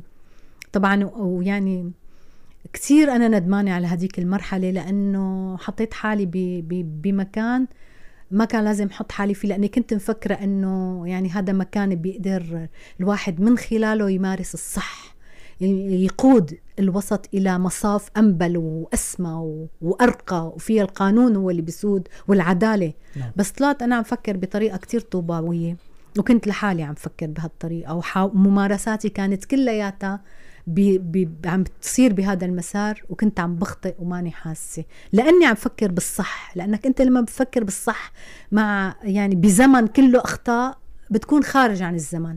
بس خليني أقول هيك. نعم. أنا ب... وقت كنت بالنقابة sorry وقت كنت بالنقابة اجتمعنا ب... بشخصية من من يعني من أهم الشخصيات الموجودة بالبلد وأعلى شخصية تقريبا. م. فلما عم نحكي هيك بالنقاش وكذا إنه آه شو المشاكل طبعا أنت لما بتروح بتلتقي بجهات عليا آه قادرة على صنع القرار وقادرة على تحصيل آه، تصحيح الأوضاع أنت شو بتحكي بتروح بتحكي مشاكل وهموم على تتصلح نعم. على يعني تساهم بإيجاد آليات للتحق يعني للتصحيح فأنا آه، كانت زميلتنا وصديقتي هي وأختي وأنا بحبها كتير كتير كتير ديانا جبور. بوجه لها كل تحية. أنا بدي أعتذر هلأ منها لديانا. بهديك المرحلة كانت مديرة المديرة العامة للمؤسسة مؤسسة الإنتاج الإذاعي والتلفزيوني. وكانت مستلمة جديد. لا وكان في مرحلة عم يعني بتستلم ديانا وبيرجع بيجي حدا تاني وبعدين بيرجع بتجي ديانا. فأنا رحت حكيت قدام هذه الشخصية المهمة عن كيف يجب أن تكون المؤسسة؟ كيف يجب أن تتعامل المؤسسة؟ شو هي الآليات اللي لازم للارتقاء بوضع الفنان؟ كيف لازم تكون المثال؟ كيف لازم يكون فيها التميز؟ كيف لازم تكون بديل عن الواقع ال ال ال الإنتاجي الموجود بالبلد؟ نعم. فبيروح حدا أو حداية بتوصل لديانا إنه جيانا وين ما بتروح عم بتجيب سيرتك بطريقة تسألك. فزعلت ديانا مني. وأنا عرفت لأنه واجهتها هيك. ومن وقتها يعني أنا كثير يعني حسيت إنه طيب أنا ما جبت سيرة ديانا ولا كانت واردة على بالي ديانا كنت عم بحكي عن عم تحكي بشأن عام ومصلحة عامة. ويعني أنا كممثلة لنقابة شو ممكن أحكي إلا بالتفاصيل المؤلمة وبالحالة اللي لازم تكون الأهم للفنان؟ يعني لا مو لازم أحكي عن المشاكل وعن الخصوصية وعن الشيء اللي بيساعدنا لنرتقي. اعتبروها ف... شغلة مشخصنه إيه فشخصنوا هن الأمور وأنا ما خطر لي بهذاك اللحظة ابدا ابدا الشخص اللي يعني ديانا نفسها. بس هي زعلت وأنا بعتذر منها لديانا. هلأ بعتذر منها لأنه أنا واعتذرت لها قبل. بس ما بعرف يعني أنا حسيت إنه يا ريتني ما حكيت. عن المؤسسة. يا ريتني حكيت بشكل عام عن الوضع الإنتاجي بالبلد ولا جبت تصير المؤسسة لأنه هي كانت بالضرورة مديرة المؤسسة. بس أنا ما بفكر إنه والله الشخص اللي قائم على المؤسسة المؤسسة بتمثله. بالنهاية هي مانا ملكية خاصة هي ائتمان آه، شأن عام. أنت لازم تحكي فيه. نعم. فيعني واحدة من ال... كنت وقتها رئيسة أو مديرة مكتب الدراما, الدراما. بنقابة الفنانين نعم. قد إيه أذتك هيدي هيدي هيدي الاستلام هيدا المكتب كثير كثير أذاني لاني أنا كنت عم ببحث عن قوانين تفعيلها تفعيل يعني كيف ممكن القانون الضريبي يكون عادل وموضوعي. كنت حام كنت عم ببني مشروع وبنيت مشروع للتصنيف والتعرفة وإجراء العقود في النقابة وإنصاف الفنانين وتحقيق عدالة بتوزيع الأدوار مع شركات الإنتاج. وهذا بلش يتحقق شيء منه مع شركات الإنتاج. صدقني إنه كل المعنيين بشركات الإنتاج المدراء واللي مسؤولين عن شركات الإنتاج كانوا متعاونين مع النقابة. بس هي في ناس بالنقابة كانت ما عم تعرف حالها شو عم تعمل فهي خربت علينا أكثر ما وخربت يعني علاقاتك يعني وخرب مع كثير فنانين. اي في ناس قالوا هدول من الناس اللي أذوني يعني وما بدي أذكر أسماء كمان إنه نحن يعني هي قالوها هيك بالمعنى الشعبي يعني إنه هي دقني اذا بنخليها تشتغل لجيانا عيد. وهن من الناس توعدوا إنه يقشطوك المنصب لا لا لا. إنه إنه إذا بعد ما هلأ بس صارت هي يعني رئيسة مكتب الدراما إذا بقى بتشتغل بأي عمل فني هيدا إن إذا بنخليها تشتغل. وهن هن القائمين يعني بال بالنقابة يعني. وقدروا. هلأ ما بعرف. إيه قدروا يمكن يمكن قدروا لأنه جيانا ما بتتساوى. جيانا في مهمة موكله اليها هي بدها تقوم فيها بشكل مشرف وحقيقي. كما يساوموك كما تقتضي مو هن ما بيقدروا يساوموني عن طريق يعني ال ال ال ال شو بيقولوا هاي المشاكل اللي عملوها وعن طريق ال ال البلبلة عملوا حوالي. إيه م. يعني المشاكل اللي عملوها والتأويل السيء للمهمات اللي كنت أنا عم بطلع فيها ولا التخريب اللي خربوه. اشتغلوا كعصابة ما اشتغلوا كناس. يعني آه، بمفهوم عمل نقابي مثل ما حكيت لك أنا على الهواء إنه في شيء تكافلي بالقصة مم. مو في, في شيء مؤسساتي إنه نحن بنشتغل لمصلحة الناس المنتمين لهذه النقابة نحن مو جايين نتبرواز. نحن جايين نصحح إذا بنقدر مسار عمل إبداعي واقع إبداعي ظرف إبداعي بنقدر والقوانين كانت بتسمح إلى الآن قوانين النقابة بتسمح بالارتقاء بالوسط الإبداعي بالمنتج الإبداعي ابتداء من النص إلى التسويق تسمح تسمح قوانيننا بإنه نرتقي بالفنان بال- بالنقابه تسمح قوانيننا بكل شيء لمصلحة الفنان. وليه ما عم يعملوا؟ ما بعرف. كيف علاقتك بالنقابة اليوم؟ هلا ما ما كتير في يعني ما علاقتي عادية بس بقدم واجباتي أنا المطلوب مني وهلا ما بعرف إن شاء الله اشتراكات وهيك قصص. أيوه بس يعني محسن إن شاء الله هيك الله يوفقه هو عنده خبرة وهو عنده تاريخ وهو أستاذ عنده محسن غازي. آه وعنده يعني صار تجربة كتير كبيرة وبيعرف ال- المفاصل العمل النقابي بدقة وبوعي يعني. مم. إن شاء الله يقدر يعمل شيء لأنه هي المسألة مو متعلقة بس بالمسألة النقيب هي مثل ما قلنا عمل مؤسساتي له علاقة ب 11 شخص موجودين كمجلس كيف يتكاتفوا مع بعضهم كيف يتعاضدوا كيف يفعلوا ال- ال- ال- المشاريع اللي بياخدوها أو القرارات اللي بياخدوها بشكل جماعي كل واحد حسب اختصاصه ويكونوا فعلا ناويين يساعدوا هذا النقيب لحتى يحقق بفترته منجز لمصلحة الفنانين نعم. للارتقاء بالحالة الفنية. آه، غير آه، مكتب الدراما وبالنقابة شغلتي منصب عميد المعهد العالي للفنون المسرحية مثل ما حكينا. شو قدمت لك الإدارة؟ من شو حرمتك؟ هلا الإدارة قدمت لي بس القلق والهم والإحساس العالي بالمسؤولية آه، لمصلحة الطالب. شو بقدر أقدم للطالب مشان نرتقي بواقعه الطلبي؟ بواقعه العلمي الثقافي المعرفي حتى الأخلاقي. هذه المسؤولية تجاه هذا الطالب. يعني قد إيه نجحتي؟ هلا أنا كتير آه، بشكل شخصي يعني كتير مرتاحة. وضميري يعني عاملة واجبي على أكمل وجه كما يجب على أضعاف الأضعاف المرات يعني. لأني كنت أنا داوم من التسعة الصبح ما أجي لعلى البيت ل 12 بالليل لفترة أربع سنين يعني إذا بدك لأنه كنت سنتين رئيس قسم تمثيل وبعدين سنتين عميد معهد عالي للفنون المسرحية. فكان الطالب طول الوقت هاجسي. آه، شو بقدر أقدم له تقنيات؟ كيف أقدر أمن له أساتذة؟ كيف أقدر ساعده حتى ماديا؟ كيف بقدر أرتقي بالمنهاج؟ كيف بقدر أنه يعني وال- والكادر الموجود كلياته نقدر نعمل شيء لمصلحة الطالب لمصلحة الاسم الكبير اللي اسمه المعهد العالي للفنون المسرحية. كيف نقدر نحن نخلص له نقدم له كل الإمكانيات اللي موجودة؟ أنا عملتها على الأخير. هلا قديش نجحت؟ ما بعرف مو أنا اللي بقيم في طلاب تخرجوا في طلاب كانوا موجودين. كنت أنا عم بشتغل على مثل ما قلت لك مو بس على الشيء العلمي والمعرفي والثقافي والإبداعي الفني مم. أنا كنت عم بشتغل كمان على الشيء الأخلاقي مم. آه، لأنه ال ال ال مو بس الشيء يعني إنه أنت كيف تحول هذا ال- ال- الطالب من حدا آه، مو بس مبدع آه، منظومة كاملة. أخلاقية وفنية وقيمية وعلمية وإنه يكون حاضر ويقدر يحمل هوية المبدع السوري بشكل مسؤول وبشكل مشرف كنت عم بشتغل على هاي آه، القصة خلال آه، فترة آه، آه، توليك هذا المنصب تعرضت بعض قراراتك للانتقاد منها قرار حجب مشروع التخرج عن طلاب السنة الرابعة استبداله بفحص مغلق. تعرض أيضا بسبب قبولك عدد كبير من الطلاب بالمعهد العالي للفنون المسرحية عدد كبير.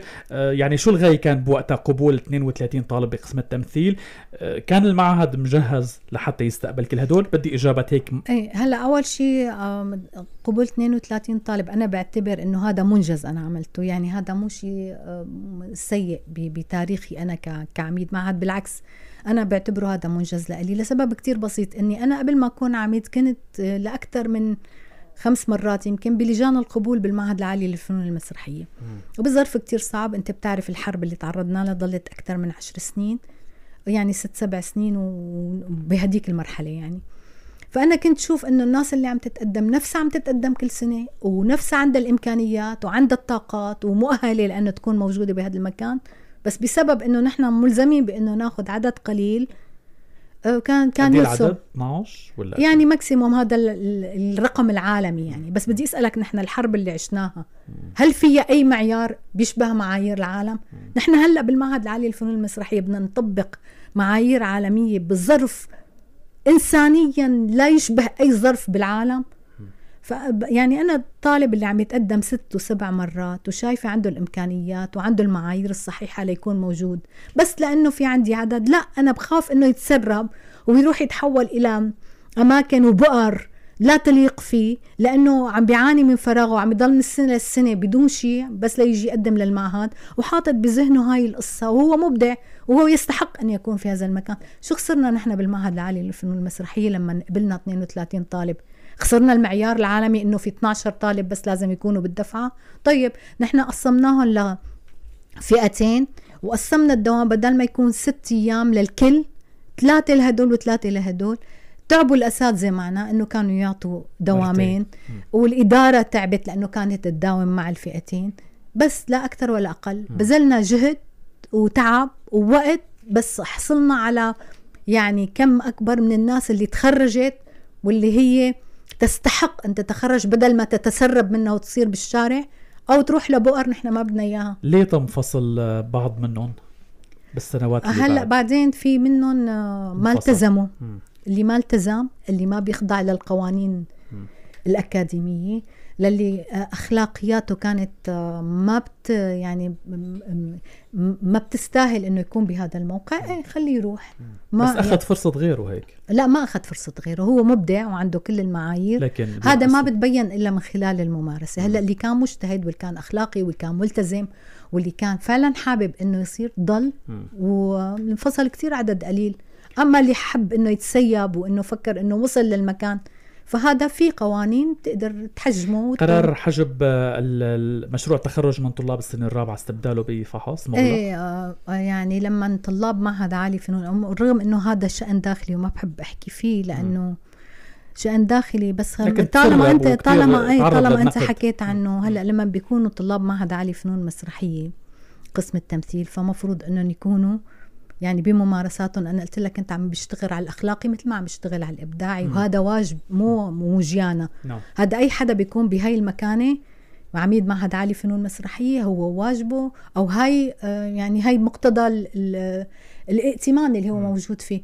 لما بيكونوا طلاب معهد عالي للفنون المسرحيه بتصرفوا بطريقة غير لائقة بطريقة تشبه ال- ال- العمل الإرهابي إنه بيسحبوا على بعضهم ما في ما في حوار. أنا جاي أعلمك لغة الحوار لغة التواصل اللغة الإنسانية اللغة الأخلاقية بالمعهد جاي أعلمك كيف تعبر عن حالك بطريقة إبداعية إنسانية آه، خلاقة. فأنت بتيجي بتستخدم أدوات بيستخدمها أي حدا بالشارع أنت لازم لا في قوانين رادعة على هذا الشيء. أنا ما بصير إنك قد ما تكون ممثل عظيم إذا أخلاقياتك مو منيحة أنا بحط إكس عليك. أنا كجيانا يعني. هلأ لما بشوف فنان قد ما يكون كبير. إذا ما أخلاقه كتير عالية ومثاله قدوة أنا ما ما بحترمه. أنا ما يعني لما بتكون أنت بالمعهد فمفروض تشتغل على هاي القصة. صح في ناس ما كان لهم ذنب بهداك الوقت بس أنا حسيت إنه إذا بدنا نعاقب بس مجموعة معينة هذا رح يضل بتاريخهم يعني يسبب لهم أزمة. أنا ما بدي قلت العقاب الجماعي بينسى مع الأيام بس العقاب الفردي بضل معلم. فأنا حتى بهي القصة كنت عم فكر لمصلحتهم. باختصار كتير شو بينقص المعهد العالي للفنون المسرحية اليوم؟ بعد تجربتك واليوم حضرتك كمراقب خارجي. بينقصوا الدعم الدعم المادي والدعم بالكوادر الأساتذة لأنه للأسف يعني المعهد لسه موازنته كتير ضعيفة. طبعا ما يعني ما بتنلام وزارة الثقافة لأنه هاي الإمكانيات الآن. بس لو كان المعهد في عنده دعم حقيقي دعم مادي آه، وإمكانيات مادية كبيرة لتطوير أدواته لتطوير التقنيات الموجودة فيه. يعني من 1995 أسس المعهد العالي للفنون المسرحية إلى الآن ما تزال الأدوات والتقنيات هي هي نفسها. ما تجددت ما تطورت ما صار فيها تحديث. هذا يراد له تحديث لأنه كتير من النظم النظم التقنية تغيرت بالعالم المناهج و... تغيرت وال... عم بحكي تقنيا نعم. أنا وعم بحكي حتى مسارح عم بحكي حتى بروجيكتورات إضاءة يعني مستلزمات العمل الإبداعي المكملات الإبداعية الأخرى كلها بدها تطوير وتحديث نعم. هي ما موجودة بالمعهد بده دعم بالأساتذة بالكوادر ما عندنا كوادر كلها يعني ما في كوادر كتير قلال هن أشخاص محددين عم ينتقلوا من سنة أولى سنة ثانية سنة ثالثة سنة رابعة بيرجعوا بيتكرروا يعني ما في كمان هاي الكوادر الكتيرة وهذا بسبب الإمكانيات المادية الضئيلة إنك أنت ما فيك تجيب حدا من برا يعني م. تدفع له لأنه ما في إمكانيات. نعم. هذا اللي بس أما في كتير مواهب بالمعهد وشفتوا أنتم هلأ على الشاشة شو عم بصير. كثير مواهب موجودة بالوقت يعني. اللي ضل عنا يعني آه، غياب بالموسم الرمضاني لحضرتك لكن كانت عودة ورجعة هالسنة بمسلسل بيروت 303 عم نشوفك هلأ عم يتم عرضه على بعض المنصات بدور سمية والدة عزيز يلي بيلعب دور النجم عابد فهد. شفنا الحلقات الأولى. احكي لي شوية تفاصيل عن هذا الدور. آه، ليه قبلتي؟ وكيف شفت النص والأداء للفنانين اللي كانوا معك؟ هلا أول شيء أنا شرفني إني اشتغلت هذا العمل أول شيء مع الشركة المنتجة اللي هي شركة الصباح وهي ما يعني هلا ما عم بعمل تسويق لأي شيء لأنه هي تاريخها معروف م. وإنتاجاتها معروفة بالعالم وحاضرة ويعني إذا بتشوف عمل مهم فبتلاقي شركة الصباح هي إنتاج إن كان عربي وإن كان مصري وإن كان مشترك. سوري ومشترك يعني أي هوية موجودة فيه شرفني كثير إني اشتغلت معهم لأنه هن فعلا ناس محترمين ناس بروفيشنال يعني متخصصين وبيقدروا بيحترموا الفنان. وتحديدا الفنان السوري كثير تعاملهم يعني رائع. آه، ما حسيت بأي غربة. آه، بالعكس حسيت بالإحترام الشديد وبالتقدير الشديد. وبنفس الوقت شرفني إنه الكادر الإنتاجي الموجود بالعمل كله هن شباب سوريين كمان هذا شيء مشرف وهن أخلاقيين وهن ناس ترفع لهم القبعة. وشكرا كثير لأنهم عم بيشتغلوا بظروف يعني بضل في غربة بضل في بلد غير بلدهم بس هن عم بي يعني عم بيبيضوا وشنا مثل ما بيقولوا وترفع لهم القبعة لأنهم سوريين ومحترمين. وأنت وين ما كنت بالعالم لما بتشوف سوري محترم فأنت بتحس إنه سوريا محترمة. بعدين الممثلين. الممثلين اللي كانوا موجودين يعني عابد وسلاف ومعتصم وبعدين أمانة وبعدين كتار سيف اللي هو الكاتب. آه المخرج سيف حامد سلافة معمار آه، النجمي. أنا عم بقول يعني الأسماء نعم. لأنه هن كلهم أحبائي يعني فأنا عم بقول أسماء إخراج إلي سمعان بتخيل. إلي سمعان آه. هي كمان مخرج رائع بأخلاق وتواضع وفهم. وعين حلوة وب... دورك دور أم شو جديدك دوري يعني الأم اللي هيك المتسلطة القوية اللي عم بت يعني هي اللي عم تصنع التوازن للعيلة وللولد. اللي عم تهيئ له كل الظروف لحتى يكون قوي لحتى يكون متماسك لحتى يجابه هذا العصر المادي البحت القاسي المدمر بطريقة قوية ويكون أكبر منه. فهي يعني دور صعب شوي. بيشبه دور منى واصف بالهيبة؟ هي يمكن بيشبه دور أم جبل ب بالهيبة بس بطريقة مختلفة. اديتي بطريقتك يعني اديته بطريقتي بفهمي ب بأدواتي طبعا هي بنوجه لها كل الاحترام لسيدة منى يعني لأنه هي سيدة السيدة السورية المبدعة يعني. ما بعرف يعني لسه لهلأ الحلقات بأولها بس إجاني خبر إنه الناس يعني ملفت لها إنه وجودي بهذا ولو إنه كمية مشاهد قليلة أنا ضيفة شرف بالعمل بس حضوري كان يعني خاص وحضوري مؤثر ومختلف يعني. فالحمد لله يعني عم يحصد نتائج جيدة وبتمنى لكل العمل إنه يكون كمان جيد. وبدي أحكي عن الممثلين يعني عابد و زملائنا الممثلين السوريين كمان ترفع لهم القبعة وين ما كانوا. عم بيبذلوا جهود. جبارة وعم بيبذلوا يعني عم بيحققوا حضور متميز رغم كل الصعوبات اللي عم بي اللي بيعانوا منها وال وال يعني الأجواء اللي عم يعيشوها. تصوير بالبحر لأنه أكيد أصلا في طياره هو صعب كل شيء كل شيء. العمل الإبداعي مهما كان بسيط هو عمل صعب. عمل صعب وبيحتاج لكفاءة عالية وبيحتاج لصبر بيحتاج لأخلاق عالية بيحتاج لإيمان. وأنا بعتقد أنه زملائنا السوريين وين ما عم يتواجدوا الممثلين والفنيين والتقنيين واللي عم يشتغلوا بالإنتاج وين ما كانوا عم بيحققوا للهوية السورية آه، خصوصيتها واحترامها. وتقديرها من قبل كل الناس اللي بيحيطوا فيهم. فأنا بدي أوجه لهم تحية وبدي أقول لهم شكرا لكل الجهود. شكرا لكل شيء عم تعملوه لأنه يعني انتمائنا السوري عم يضل حاضر وين ما كان وين ما رحنا وين ما جينا بأي طريقة عم نتواجد فيها عم نحقق احترام وعم نحقق تميز. وهذا يعني هذا شيء مشرف للكل نعم.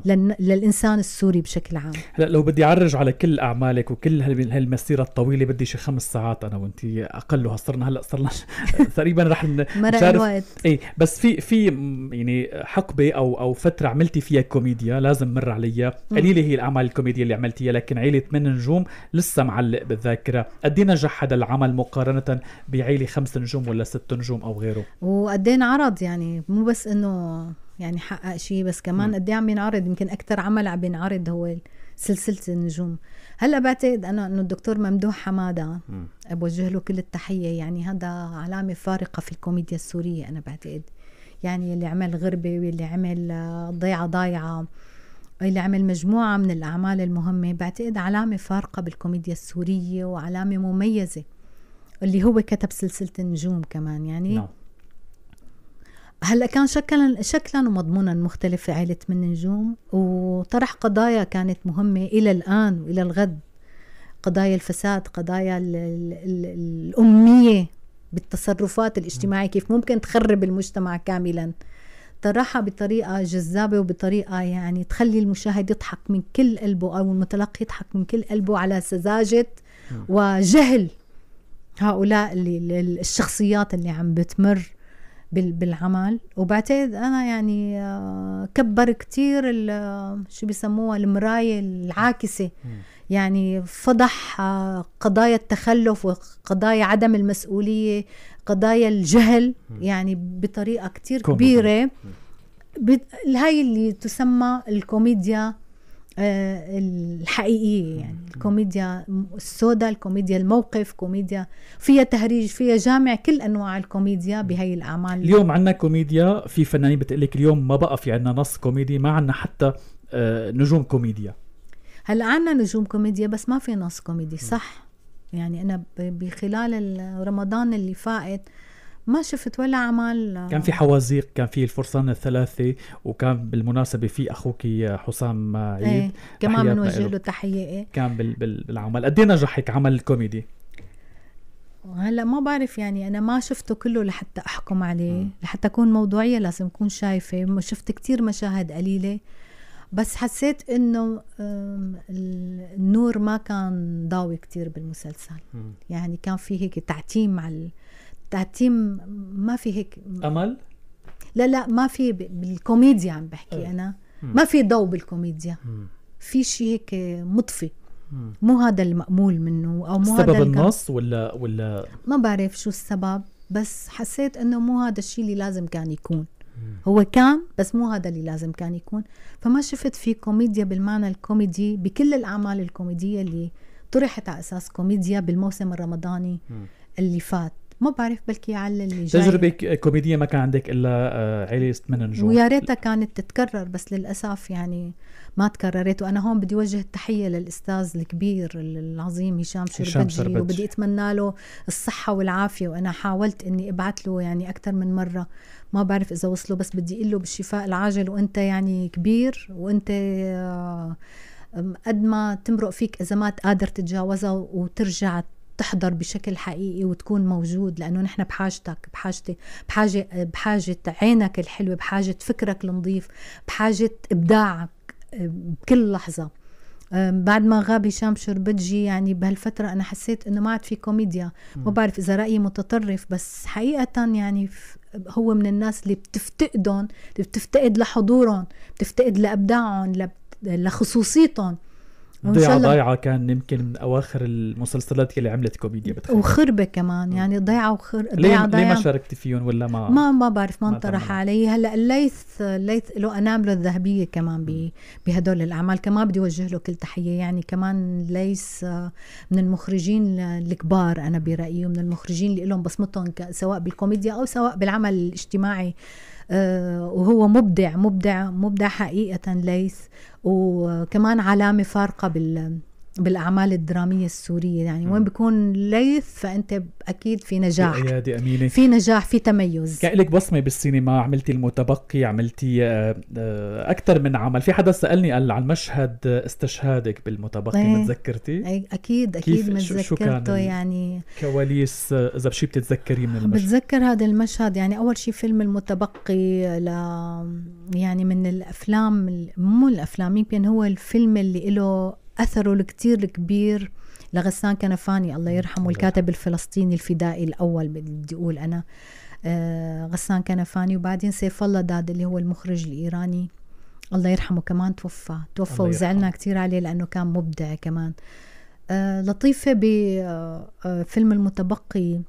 آم، ما بتصدق الحضور ال- الجميل اللي حققته بهذا الفيلم. مم. آه، بإيران لما انعرض الفيلم بهذا المشهد آه، لما بتموت هي وجوزها اللي هو سعيد اللي جمال سليمان كان عم بيلعب الدور. لما ماتوا هن الاثنين تقوصوا طبعا اغتيلوا اغتيال على يد الموساد اللي كانت عم تجتاح الشوارع الفلسطينية. بدي أوجه كل تحية لشعبنا الفلسطيني من خلال هذا اللقاء لكل المدن الفلسطينيين للإعلامية اللي فقدناها آخر شيء لشيرين العاقلي. لروح الرحمة طبعا لكل فدائي فلسطيني لكل شهيد فلسطيني لكل شهدائنا بالعالم العربي. ما بعرف ليش بيخطر لي إنه إمتى بدهم يحلوا عن هذا ال- ال- العالم عن عن دمشق عن القدس عن فلسطين عن سوريا عن لبنان. لإمتى بدكم تحلوا عنا بقى؟ أنتم هذا الغرب المتوحش بقى. إمتى بدكم تتركونا بسلامنا بحضارتنا؟ نحن ناس خلقنا للمحبة وللإبداع وللجمال. ما خلقنا لنضل نتقاتل نحن وياكم طول الوقت. يعني حلوا عنا روحوا لقوا مكان تاني آخر مظلم آه، موحش. روحوا مارسوا أفعالكم المتوحشة فيه. حلوا عننا بقى بالمشهد شفت لوين أخذتني يامن آه بمشهد اللي بي- اللي بيموتوا بالشارع آه فهي بتركض تلتقي مع زوجها بيكون هو طبيب كان عم بيداوي ال- المرضى اللي كانوا عم بالحرب يوم اجتياح يافا يعني وحيفا اللي كانوا عم بيتصاوبوا. هو طبيب زوجها عم بيداويهم وراجع على البيت فبينقنص بالشارع وهي بتكون زوجته رايحة عم تدور عليه كمان لأنه بيتيهوا بوسط هذه الحرب الكبيرة. فبيلتقوا بالشارع بنفس الشارع فلما بتركض عليه لتمسك إيده فهي كمان بتنقص بتنقنص فبيموتوا اثنيناتهم وبالشارع. بقلب الشارع. طبعا تحولت اللاذقيه لأنه ما بنقدر نصور لا بيافا ولا بحيفا. صور باللاذقيه تصور البلاد تحولت مدينة اللاذقية إلى مدينة فلسطينية. طبعا نحن كنا عايشين الأجواء وكأنه فعلا نحن بقلب فلسطين بقلب يافا بقلب حيفا عم نصور. وكان في عنا يعني كاست إخراج وكاست إنتاج من أروع ما يمكن وكاست الممثلين السوريين اللي ترفع لهم القبعة كمان اللي كلهم سوريين بعمل فلسطيني بإنتاج إيراني وإخراج إيراني وجهات منتجة إيرانية. أم، يعني ما بنسى أنا هذيك اللحظة لما متنا بالشارع صارت الناس أول شيء أي حدا حضر الفيلم الفيلم وين ما كان بأي بقعة من العالم بكي لما شاف هذا المشهد. لما لطيفة تقوصت فهي رجعت لورا من صدمة ال- الرصاصة اللي. دخلت عليها. فنزل الإشارب تبعها اللي كانت حاططها على راسها هي لابسة اللبس الفلسطيني. نعم. فبيحكوا لي إنه بإيران لما وقع الاشارب كل كل الصالة شهقت. إنه كيف يعني؟ إنه وقع عن عن راسها الإشارب وكأنه العظمة كلها وقعت على على الأرض. هذا الفيلم يعني له بتاريخي أنا الإبداعي مكانة خاصة لا يمكن انه تنسى أه وبتمنى إنه كانت تتكرر هاي التجارب بالحتى لأنه بعتقد إنه من أهم الأفلام اللي انعمل عن القضية الفلسطينية هو فيلم المتبقي. نعم. آه، بالوقت اللي ضل وآخر سؤال تكرمتي كتير حستي على ميداليات آه، ذهبية إن كان بسوريا ولا حتى بمصر والقاهرة مهرجان القاهرة أكثر من مهرجان. وين لسه بتحلمي تتكرمي؟ ما هلأ أنا بس أتكرم بمنجز يحقق لبلدي حالة متميزة وبيرفع علم بلدي هذا أكبر تكريم لي. بتندمي. على شيء خلال مسيرتك؟ بتندمي على شيء بصراحة. بندم بندم صراحة على اني دائما كنت ما فكر بحالي دائما كنت فكر بال بالحالة العامة أو بكيف ممكن أخدم المجموعة يعني أفكر بالصالح العام وما كنت أفكر بالصالح الخاص. كان بإمكاني إني أفكر بحالك بتوازي بحالة توازي أكثر بمنطق أكثر بدون هذا يعني الحالة الانفعالية والعاطفية أو يعني اللي أثرت كثير أحيانا على إني أنا بقيت فترة فترة عم بنتظر آه، أخذت من عمري أخذت من وقتي كان ممكن يكون بمكان آخر لو إني فكرت بحالي بطريقة أنانية شوي أكثر من اللازم لكان الوضع مختلف. بدي كلمة لحوار في آي بي. بدي أقول لك شكرا كثير يامن شكرا لسوريانا شكرا للإعلام السوري بشكل عام. أه لأنكم دائما بتضيقوا على كل شيء بنعمله حتى على لما بنكون غايبين تستفقدونا وهي حالة من الوفاء لا تكرر خاصة خاصة بسوريا تحديدا وبالإعلام السوري. وبدي لكم الله يعطيكم ألف عافية دائما.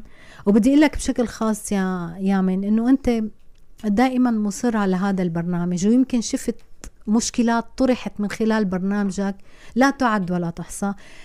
بتمنى بيوم من الأيام إنه هاي المشكلات تلاقي صدى دائما أنت بترجع للجهات المعنية. عند الجهات المعنية لتطوير الواقع الإبداعي السوري من خلال برامج كبرامجك ومن خلالك أنت شخصيا لأنه دائما في دائما في هيك هاجس عندك للارتقاء. بتمنى إنه يلاقي صدى عند المعنيين بالأمر. دي حطه بقوسين. يعطيك ألف عافية وشكرا كثير كثير إن شاء الله يوصل الصوت. شرفتينا السيدة جيانا عيد. نورتينا واهلا وسهلا فيكي بكل وقت. كتير. شكرا, شكرا. يعطيكم ألف عافية بالكنترول كمان. وإن شاء الله بشوفكم دائما بألف خير. وسوريا تضل بألف خير بوجودكم بوجود كل الجديين وبكل الشرفاء. بهذا البلد الحبيب سوريا. شكرا لحضورك. مستمعينا برجع بلتقي فيكم الحلقة الجاية. ضلوا بألف خير.